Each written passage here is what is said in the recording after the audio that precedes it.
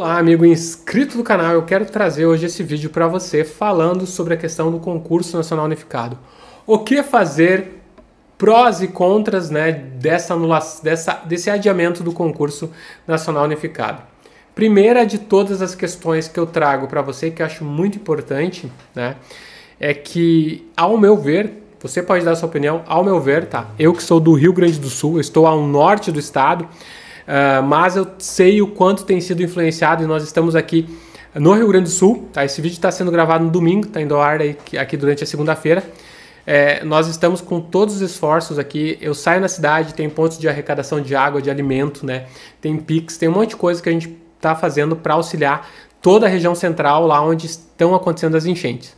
Não que nós também não estamos sendo atingidos aqui, tá? Só que a nossa bacia hidrográfica aqui ela é mais favorável, então nós não temos aqui rios que estão enchendo, mas nós temos problemas em rios menores no interior que estão bloqueando estradas de chão, que não têm acesso também, agricultores que não conseguem escoar, sair com a produção, entregar, sair de suas casas também tem causado transtorno, mesmo nas cidades que não estão alagadas, mas em pontos do interior estão, estamos com problemas em todo o Rio Grande do Sul. Então, a partir disso, a partir do caos que se instalou, principalmente em Porto Alegre, se você olhar o que aconteceu em Porto Alegre, cheia histórica, nunca aconteceu uma cheia como essa, então é algo que uh, não teria como não cancelar esse concurso. Seria muito falta assim de uh, pensamento no próximo, pensar num concurso tá? Agora, então eu, esse eu vou manter minha opinião. Vou criticar quem apenas pensa no concurso, porque aqui nós estamos é, Rio Grande do Sul.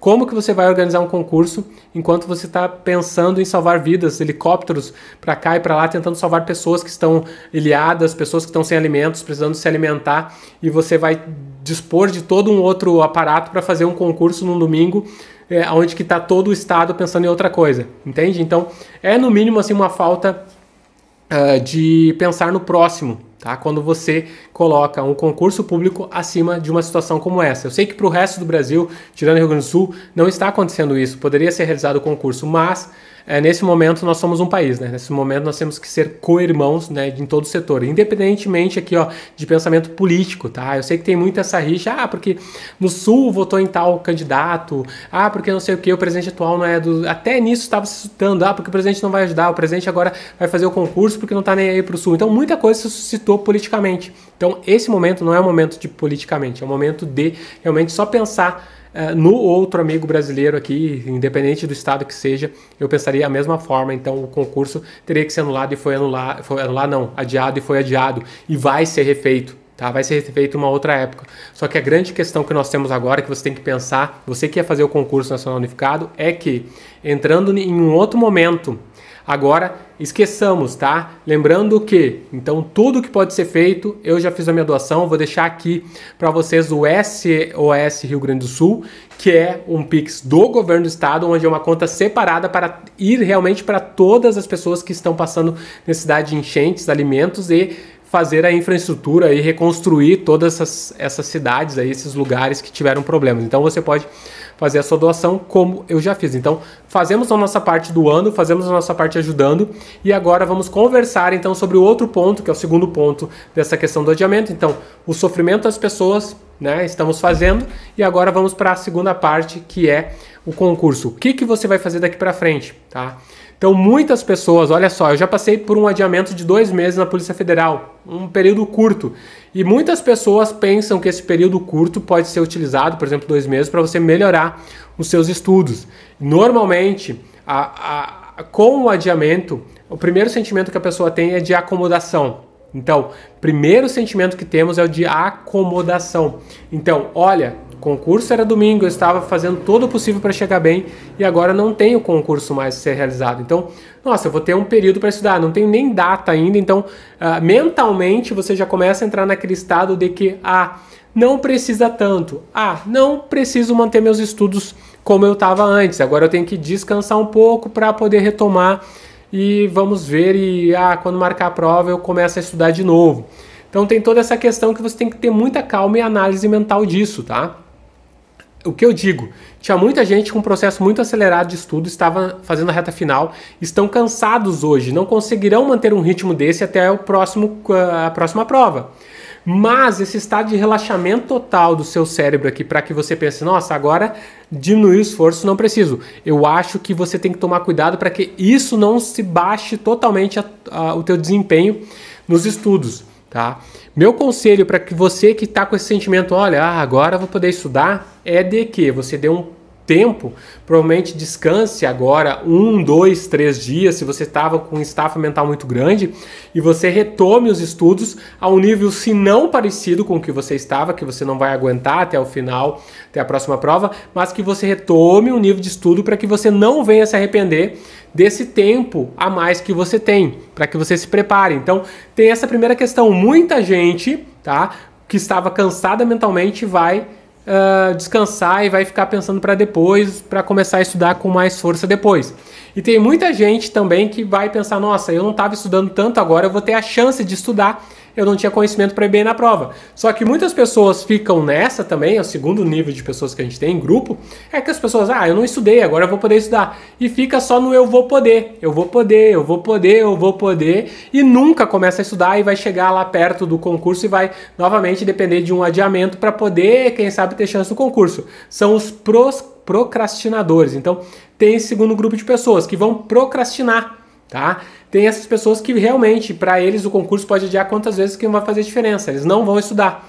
Para você que estava no ritmo e achava que estava muito bem para passar, como eu disse, o difícil é você manter a motivação para esse concurso. Tá? Então, você estava no nível hard, vai ter que descer aqui, vai ter que descansar um pouco aí, como eu disse, pouco tempo e voltar à sua rotina de estudos, tá? Então, esse é o grupo de pessoas que nós temos dois grupos importantes, né? Quem está cansado de estudar e quem não estudou nada, tá? Ou quem estudou muito pouco e não teria chance no concurso. Outra questão que nós temos é, com esse adiamento é que tem pessoas que estariam preparadas, estavam se preparando e que a partir desse adiamento elas não vão mais fazer o concurso nacional unificado. Veja bem, tem muitos casos, já olhei na internet, comentários, tem gente, por exemplo, que vai fazer Polícia Federal, tá?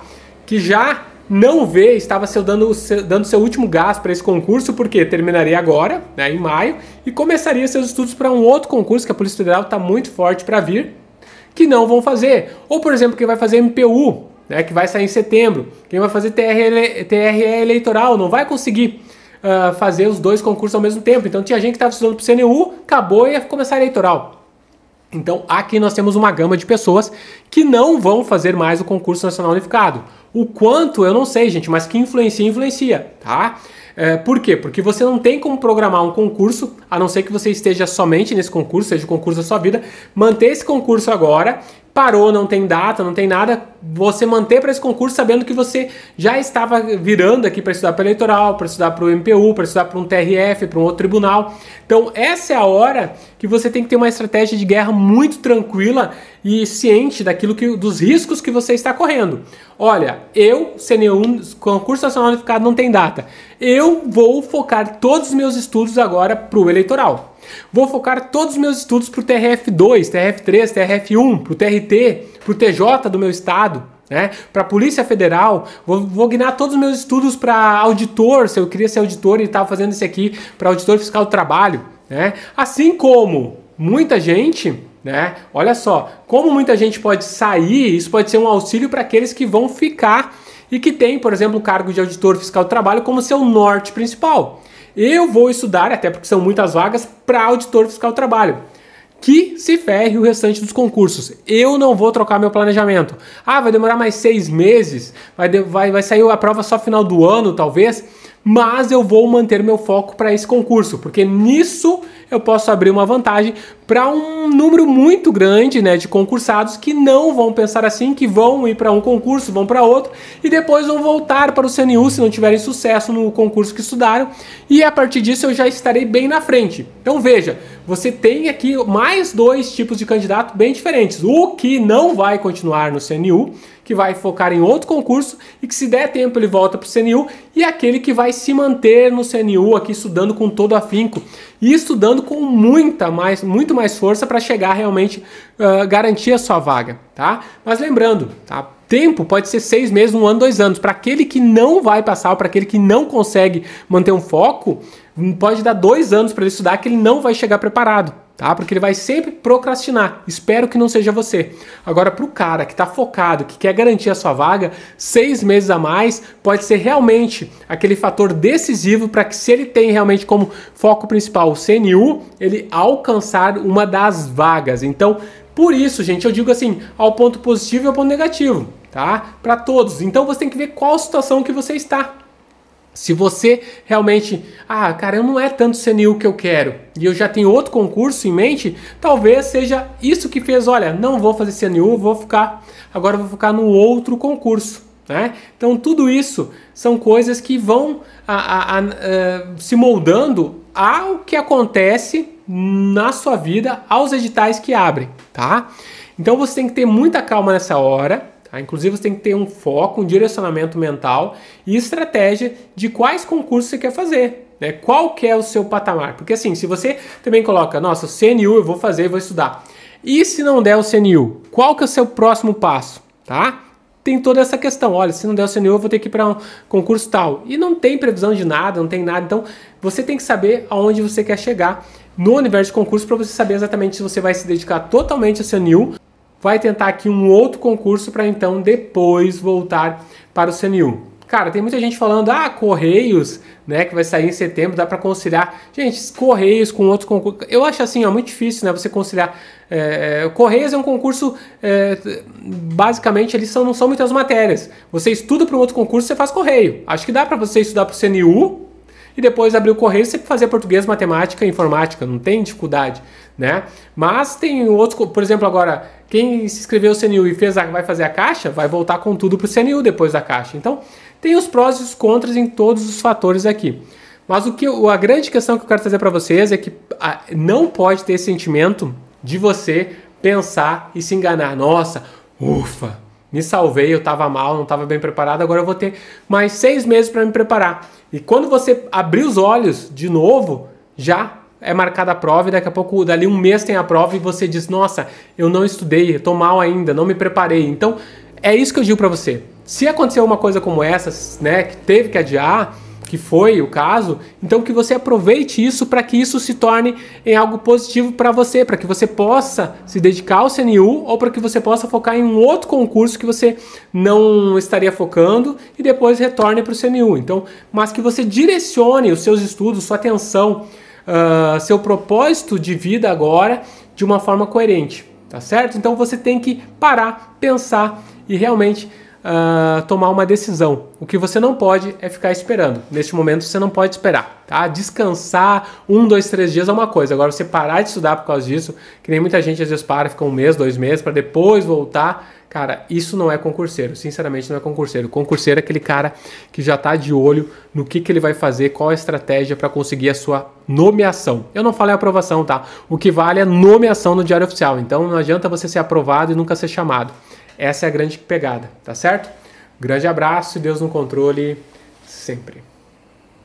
Não vá embora sem antes deixar a sua inscrição aqui no canal. Deixe aqui nesse botão de inscrito inscreva-se, por favor. E também assista mais dois vídeos aqui que o YouTube indica para você aqui do canal que pode agradar a vossa pessoa concurseira, tá certo? Um grande abraço e seja parte da família Mistreme dos concursos.